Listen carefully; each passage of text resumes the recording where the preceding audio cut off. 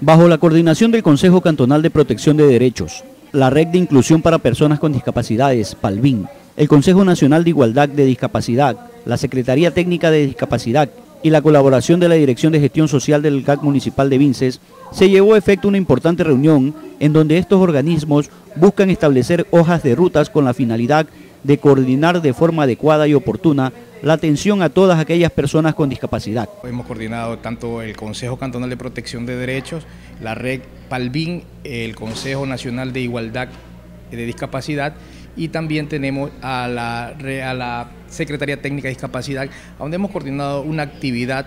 que va en protección de los derechos de las personas con discapacidad. La actividad que hemos preparado para el día de hoy se llaman eh, hojas de ruta, hojas de ruta para atención a las personas con discapacidad. el día de hoy eh, estamos, estamos en este taller eh, queriendo conseguir un objetivo bien claro, es una línea para seguir dándole atención a las personas con discapacidad, pero en protección de derechos, ya que aquí en Vinces no contamos con, esa, con ese documento, esa herramienta técnica, la estamos realizando acá en Vinces, creo sin, sin temor a equivocarme que somos uno de los, de los cantones de la uno de los primeros cantones de la zona sur que estamos realizando esta actividad. Marco Cuello, miembro del Consejo Cantonal de Protección de Derechos, manifestó que lo que se procura es la articulación de las instituciones involucradas para brindar una buena atención a las personas con discapacidad. Viene, viene dirigido efectivamente las personas, las personas con discapacidad que son sujetas de derecho y las juntas cantonales de protección de derechos, que son las instancias que tienen que restituir los derechos de las personas que en su caso se han vulnerado sus derechos. O sea, buscamos la articulación más que todo, la articulación de las instituciones para poder dar atención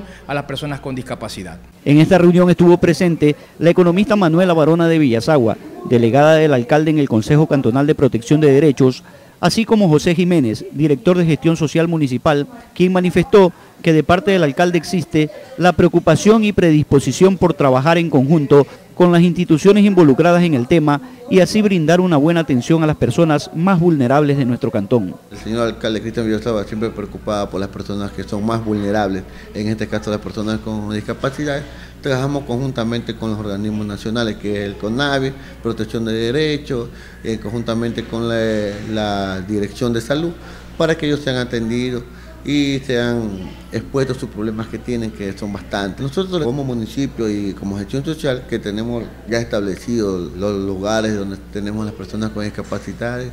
es para hacer las visitas, para que sean atendidas tanto el CONADE como la compañera de protección y derechos.